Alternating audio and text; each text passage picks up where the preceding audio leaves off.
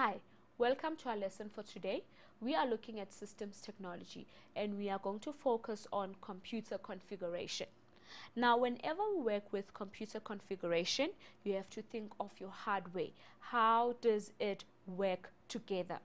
Now, when you buy a computer, it's important to understand the relation between CPU and RAM and how they work together. You also need to know that if you have a lot of data you need to have a bigger storage space as well as enough RAM to help with access to these files. So all of this simply tells us the relation between these devices. Now when you use these devices you have to make sure that the sizes of these devices actually work in hand so that you can be able to have a proper working system. Now your hardware configuration, we're going to first look at your processor, which is the CPU. Now the processor is responsible for running programs and processing data.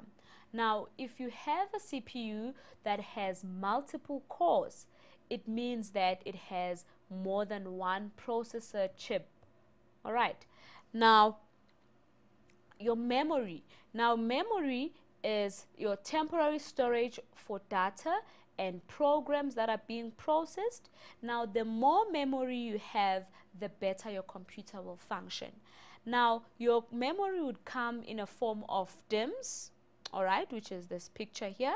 So we refer to this as a DIMM and the example that is normally used would be a DDR3. So in most of the adverts that you would see, you would see that they would refer to your RAM as a DDR3, and then they would give you the size of the RAM.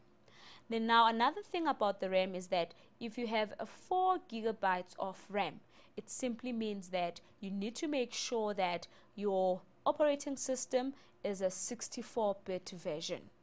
And another thing is that with your RAM, it allows easy access to data. So you need to make sure that whenever you choose hardware devices, you make sure that your processor as well as your RAM are actually working together in terms of the sizes.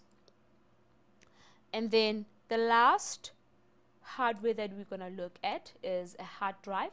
Now your hard drive is the main permanent storage device for all your data. Remember the RAM is not permanent but it's just a temporary storage device and hence your hard drive is the one that stores your data permanently.